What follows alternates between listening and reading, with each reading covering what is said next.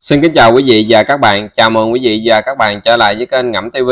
Xin kính mời quý vị và các bạn cùng lắng nghe ngợi khen Chúa Giêsu 3 triệu ngôi nhà hay chúng ta có thể nói là 3 triệu gia đình đang nằm trong tầm ngắm của kẻ thù và đây không phải là trò đùa.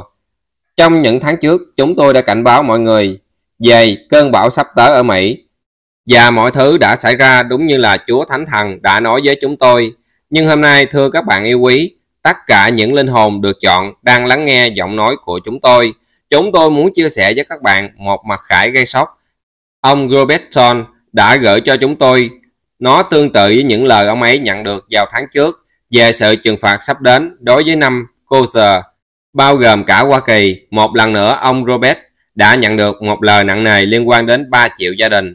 Và ông ấy kêu gọi chúng tôi cảnh báo mọi người rằng hãy lắng nghe và nghiêm túc với những lời này bởi vì chúng sẽ xảy ra trong vòng 40 ngày tới và trước ngày 18 tháng 11 năm 2024. Đối với những ai chưa biết, chúng tôi muốn nói rằng ông Robert Thorne thường nhận được những khải tượng, những giấc mơ tiên tri và những lời trực tiếp từ Chúa, nhưng ông ấy không có một nền tảng rộng lớn để chia sẻ những lời mình nhận được. Đó là lý do tại sao ông ấy yêu cầu cho chúng tôi cảnh báo thế giới về những lời mà ông ấy đã nhận được gần đây. Vì vậy, xin mọi người hãy chú ý trước khi chúng tôi chia sẻ những gì ông ấy gửi cho chúng tôi. Chúng tôi muốn ngợi khen Chúa Thánh Thần vì đã phán qua những người được chọn của Ngài, ngay cả trong thế giới ngày nay, qua các nhà tiên tri và đôi khi cả những người bình thường. Chúng tôi muốn ngợi khen Chúa Thánh Thần về sự dẫn dắt liên tục của Ngài vì đã cảnh báo chúng ta trong khi chúng ta vẫn còn chút thời gian chuẩn bị. Cảm ơn Chúa Thánh Thần, nhờ sự dẫn dắt của Ngài mà chúng ta có thể chuẩn bị trước cho những sự kiện có thể xảy ra sắp tới. Cảm tạ đấng Chúa chờ và cảm tạ Đức Chúa Giêsu. Đấng là Chúa và cứu thế của chúng ta và là đấng bảo vệ tối thượng của chúng ta. Bây giờ hãy lắng nghe những gì ông ấy đã nghe từ Chúa.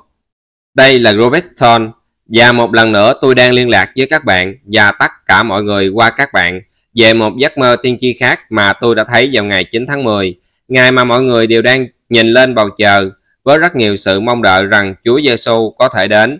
Nhưng đêm đó tôi đang cầu nguyện và trước khi đi ngủ, tôi đã cầu nguyện gần 5 giờ đồng hồ và sáng hôm sau tôi nhận ra mình đã thấy một giấc mơ tiên tri mạnh mẽ.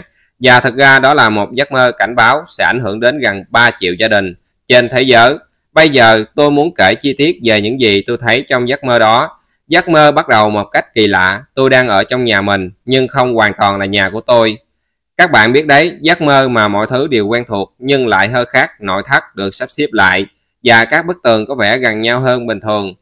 Tôi biết đó là đề muộn, nhưng thay vì bóng tối, có một ánh sáng mờ kỳ lạ bao trùm căn phòng, giống như là hoàng hôn. Mặc dù không có đèn nào bật, có một cảm giác kỳ lạ trong không khí, một sự nặng nề giống như không khí trước một cơn bão. Nhưng tôi không thấy bất kỳ tiếng gió hay là mưa nào.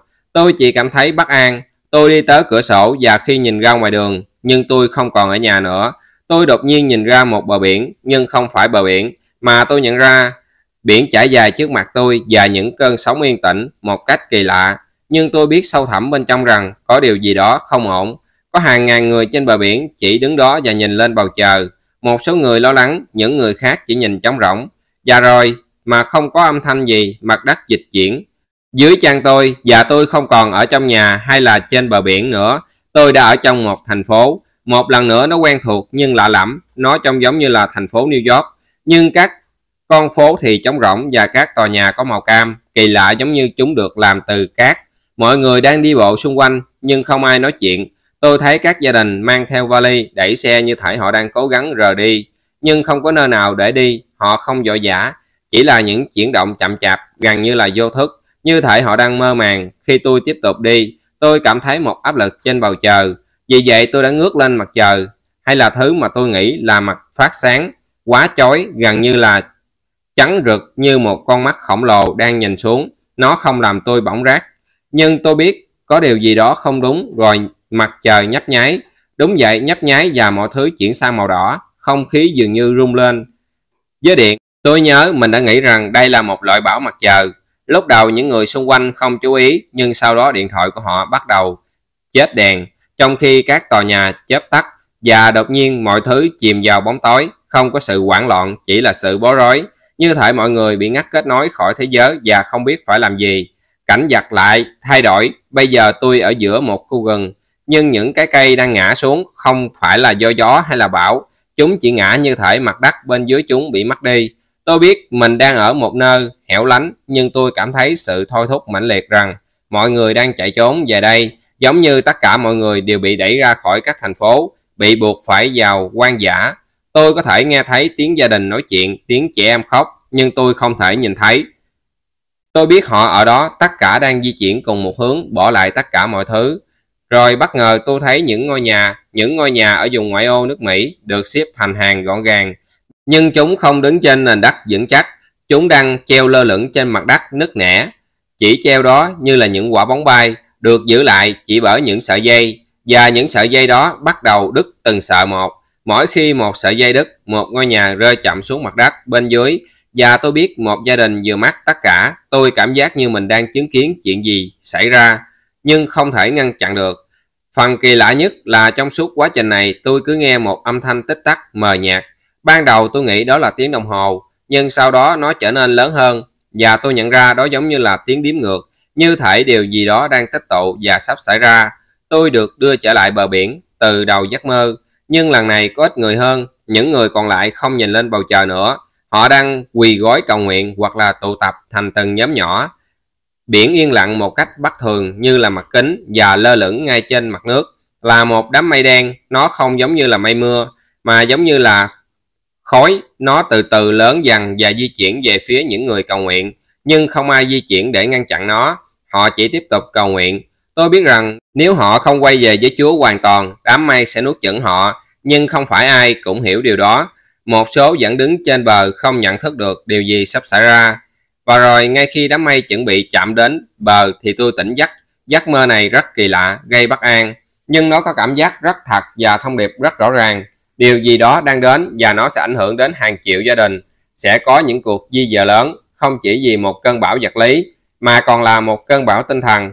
Kẻ thù đang nhắm vào các gia đình, cố gắng nhổ bật họ khỏi gốc rễ cả về mặt vật lý và tinh thần và nhiều người sẽ mất nhà cửa, một số là theo nghĩa đen, số khác là mất đi cảm giác an toàn, ổn định. Tiếng tích tắc tôi nghe, tôi tin rằng đó là một lời cảnh báo thời gian đang cạn kiệt.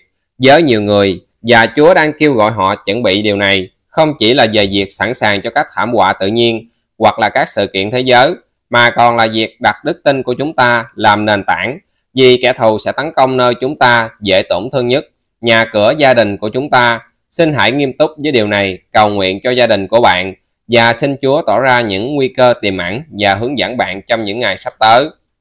Robert Ton Abin Texas Và đó là email mà chúng tôi đã nhận được. Chúng tôi đã nhận được email từ Robert Thorn. những con cái của Chúa. Không quan trọng ai là người truyền đạt giọng nói. Điều tôi muốn nói với các bạn biết là điều thật sự quan trọng chính là thông điệp này. Khi chúng tôi đọc email của Robert Thorn, Tôi có thể cảm nhận được sức nặng của những lời ông ấy đang nói đè nặng lên tâm linh của tôi, như thể Đức Thánh Linh đang xác nhận tất cả những gì ông ấy đã nhận được. Anh chị em yêu quý, đây không chỉ là lời nói của một con người, đây là lời cảnh báo trực tiếp từ ngay vàng của Đức Chúa Trời. Lời này có thể nghe kỳ lạ, nhưng đó là cách mà Chúa đôi khi phán theo những cách khiến cho chúng ta phải suy nghĩ về ý nghĩa nhưng luôn kèm theo một lời cảnh báo rõ ràng Kẻ thù đang nhắm vào các gia đình và bây giờ là lúc đứng vững trong đức tin của chúng ta, bao bọc những người thân yêu của chúng ta trong lời cầu nguyện và hãy cảnh giác nếu như bạn tin vào những lời này và quyền năng bảo vệ của Đức Chúa Trời. Hãy gõ Đức Chúa Trời là đấng bảo vệ của tôi và chia sẻ những lời này với ít nhất 7 người trong danh bạ của bạn. Hãy làm cho họ nhận biết về ảnh hưởng sắp tới và yêu cầu họ phải cảnh giác vì sớm muộn gì điều này sẽ thật sự xảy ra. Giờ đây nếu bạn muốn cầu nguyện cho gia đình mình hoặc cho những người thân yêu. Chúng tôi mời bạn tham gia cùng chúng tôi một lời cầu nguyện mạnh mẽ ngay bây giờ với giọng nói của chúng tôi. Lại cha thiên thượng Đức Chúa Trời toàn năng và vĩnh cửu. Chúng con đến trước mặt Ngài hôm nay với tấm lòng khiêm nhường. Trước sự vĩ đại và lòng thương xót của Ngài, chúng con nhận biết rằng trong những thời điểm bất định này chỉ có Ngài là thành trì vững chắc nơi trú ẩn và là một nguồn hy vọng của chúng con. Lại cha chúng con ngợi khen Ngài vì tình yêu không lai chuyện của Ngài, vì ăn sủng mà Ngài ban phát cho chúng con mỗi ngày, và vì sự trung tính của Ngài để hướng dẫn chúng con vượt qua mọi cơn bão. Lại Chúa, chúng con kinh ngạc trước sự khôn ngoan thần thánh của Ngài và những cảnh báo mà Ngài gửi qua nhà tiên tri và đầy tớ của Ngài. Chúng con biết rằng không có gì thoát khỏi sự quan sát của Ngài, và Ngài là đấng chúa tể trên tất cả mọi sự, các quốc gia, các yếu tố thiên nhiên, và số phận của mỗi linh hồn trong ý chí hoàn hảo của Ngài. Ngài đã ban cho chúng con một thời gian để chuẩn bị, và chúng con cầu xin Ngài giúp chúng con sử dụng hết thời gian này một cách khôn ngoan. Hãy mở mắt tâm linh chúng con lại Chúa để nhận ra những dấu hiệu Ngài đang bày tỏ cho chúng con. Hãy mở rộng lòng chúng con để tiếp nhận chân lý của Ngài, ngay cả khi nó khó khăn, và ban cho chúng con sức mạnh để hành động theo nó. Chúng con dâng lên Ngài, lại cha ba triệu gia đình đang bị kẻ thù nhắm tới, những người đang đối diện với các mối đe dọa từ các thế lực hữu hình và vô hình.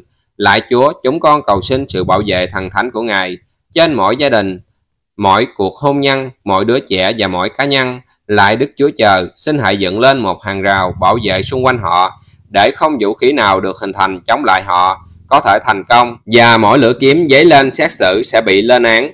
Lại cha, chúng con cầu xin lòng thương xót của Ngài trên những ai đang đối diện với nguy hiểm về thể xác, thiên tai, bão tố và các thảm họa họ trong thời gian này của những cuộc di rờ hàng loạt và những thách thức có thể đang đến. Chúng con cầu xin Ngài ban cho sự trú ẩn an toàn và sự chu cấp cho những ai đang cần. Hãy làm lặng yên gió, làm lặng sóng để lùi các thảm họa đang đe dọa đến dân sự của Ngài, có thể tìm thấy sự bình an giữa cơn hỗn loạn.